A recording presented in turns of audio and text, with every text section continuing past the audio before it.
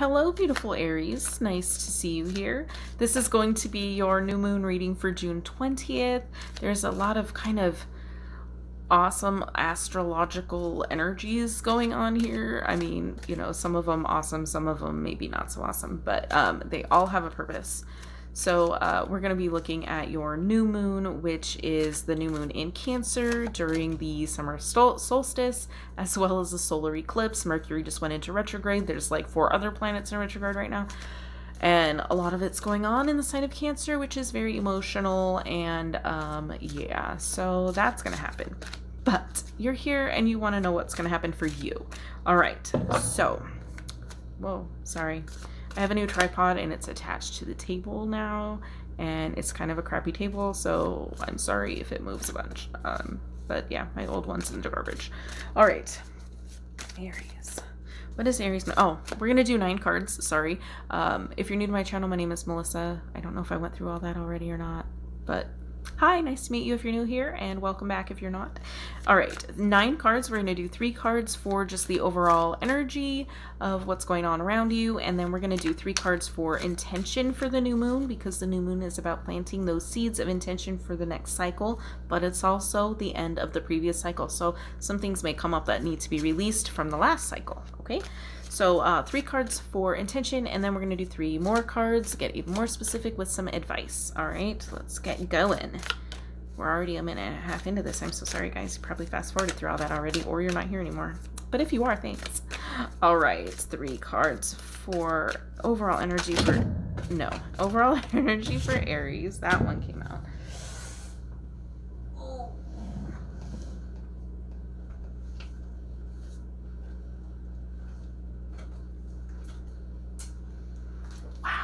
a lot of cards and they kind of went everywhere. Okay, we did have one that stayed on the table. We're taking that one. All right. I really like kind of getting the energy that might be all over the place right now. Okay, Aries. All right, Aries. Overall energy for Aries around this new moon, please. All right. Let's get that first card open here. All right, we have the Queen of Pentacles, the Five of Cups, and the Nine of Wands. The Nine of Wands keeps coming up, guys. I do have to tell you that energy of kind of like taking a step back and um, being more in observation mode in that final stretch of things. Um, that's been coming up a lot for a lot of people, and that really could be with the Mercury retrograde. Uh, you know, taking that time to really not really do anything because, you know, Mercury retrograde is known for kind of interrupting technology and communication and, and that kind of stuff. Um, so a lot of people kind of take a step back and wait for that to pass before they do important things like sign legal documents or um, allow their ex back into their life. So uh, I really kind of feel like you might be pretty affected by this whole retrograde thing. Okay, so we have the Five of Cups, which is really like not, you're focusing on the loss when you still have gains, okay? But we also have this Queen of Pentacles here, who's very, um, you know, uh, practical minded, really looking at the situation for what it is. Okay, so you have that really next to this energy of like not really looking at what really is and more focused on what you're losing than what you have to gain from the situation.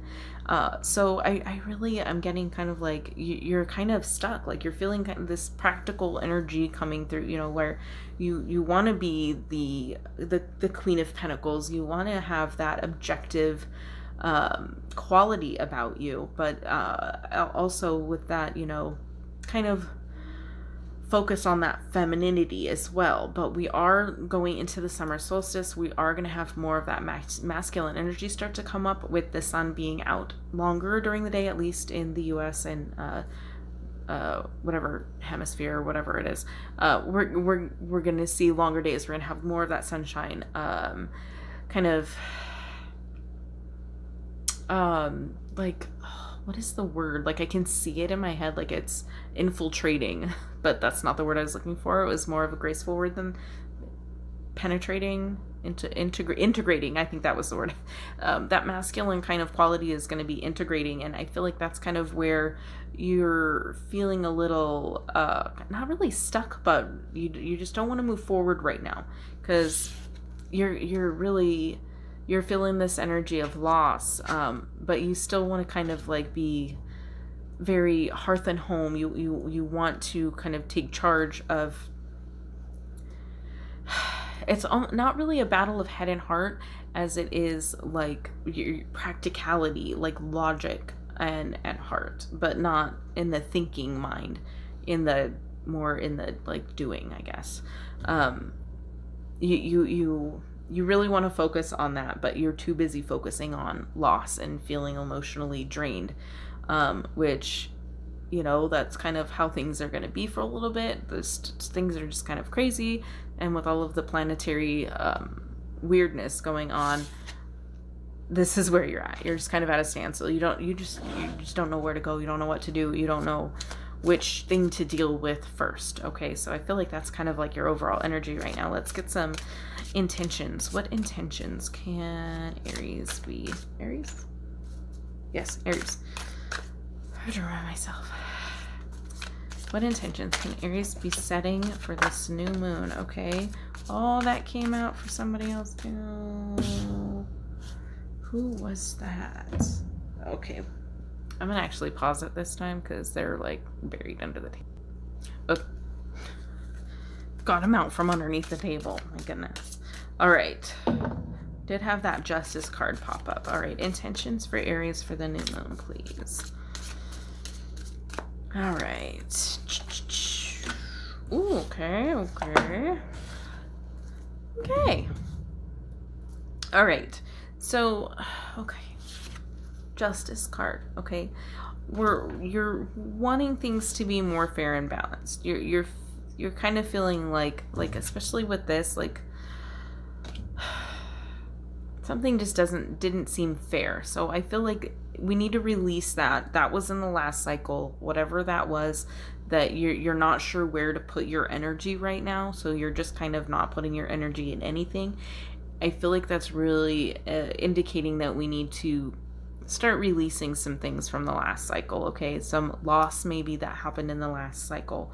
Um, it's time to kind of like move forward and start seeking that balance and, and some fairness. So we also have this Five of Swords here, which is about like defeat.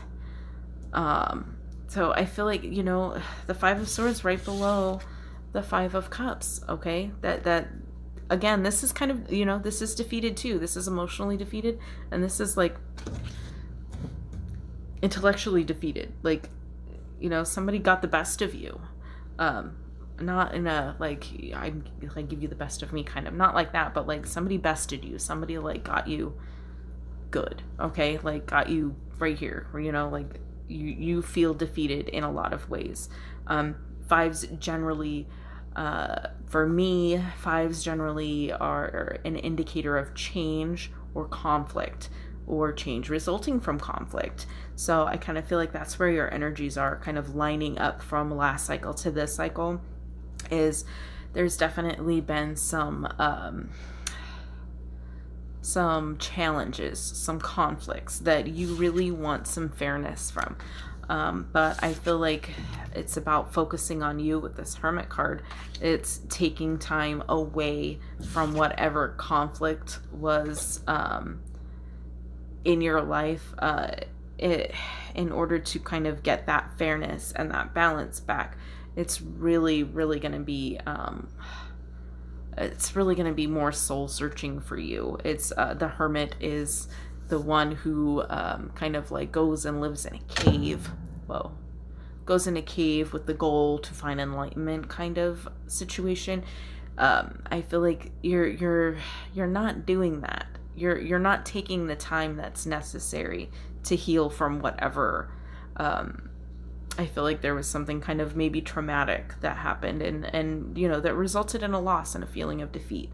Um, but as far as intentions you you want that fairness. So when you're you're putting out an intention especially during a new moon which is when is the best time to do it um, as i previously stated uh, it's it's really um, important to uh, phrase it in a positive way. Like you don't want to be like well i don't want this and this sucks and like don't show me this stuff and you want to really phrase it in the um, one in the present tense and two in a positive aspect of it. So, you know, like I I am focusing on myself and um, working on aligning myself with fairness and balance and um, defeating my own demons. Okay, something along those lines. Okay, uh, as far as intentions go. Like right now, I don't know where I left off, but the kids tried to call and it cut me off. So normally I can like swipe away the call, but it wouldn't let me. All right, so I don't know where I left off or where it cut me off, but we were talking about the intention um, of really focusing it in a positive light and in the present tense. So I am focusing on myself um, and seeing things that are fair and balanced uh, and you know taking charge of my own uh, destiny or, or, however I phrased it to begin with there. Um, so I, I really feel like that's that's the best intentions right now is to really kind of you know work on your own growth and focusing on yourself as well um, because I feel like you don't feel like you were dealt a very good hand um, recently, and it's time to kind of, in order to release that, you really need to like bring it into self and how you will move forward from here, and we will get some advice cards that will hopefully help with that. Okay, let's get some advice for Aries, please. We have the Four of Wands, the Star, and the Queen of Swords. Okay, I'm liking this energy. I'm liking this energy for you. Okay, so we have the Four of Wands here, which is um, stability and, and celebration here.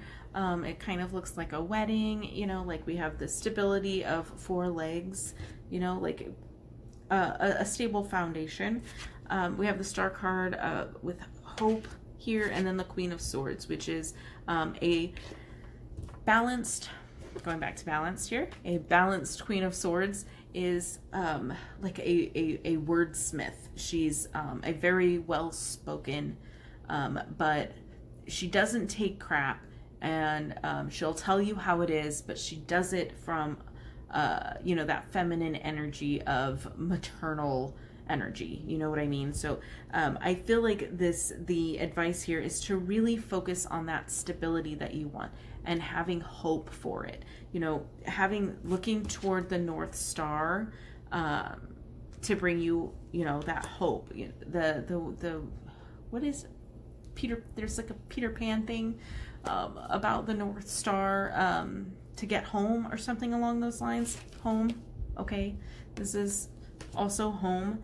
Um, but I, I really feel like the good advice here is to be very careful with your words. Um, make sure you're coming from a place of of love but not taking crap okay? But there is um, some hope that you can focus on here okay? So it, it's keeping in mind that oh okay i'm really um, drawing this this little connection here with that star and the star that the hermit is carrying in his lantern um, that let that hope guide you let the hope guide you home okay, to stability, to a stable foundation. Um, but mind your words, okay? A, whether you're going to be balanced or you're going to be a cutthroat biatch, okay? So, um, you know, it's all about a well balanced Queen of Swords is a wordsmith. She is um, kind and gentle with her words, but does not take crap. An unbalanced Queen of Swords is going to be a smack talker. She's going to be a little bit more mouthy or she's going to say things that she doesn't really mean and it's not coming from that maternal place. Um, so it's kind of like be mindful of that, okay? And I'm really getting some that advice of following the following the star home. I, uh, there's something to do with Peter Pan. I don't know if you know what it is. Tell me in the comments, please. Um, but it's it's following that star to the stability of home, okay? And I feel like it's really saying follow this star okay follow this star follow the hermit go into you know go into your little cave to help yourself find that enlightenment okay? Um, not necessarily enlightenment like in a you know woo woo sense. I mean we are kind of in a woo woo like type of situation here like with tarot but find yourself okay? Like the hermit goes out and and he lives in the cave and to find himself okay? To to find out what he needs to know about himself.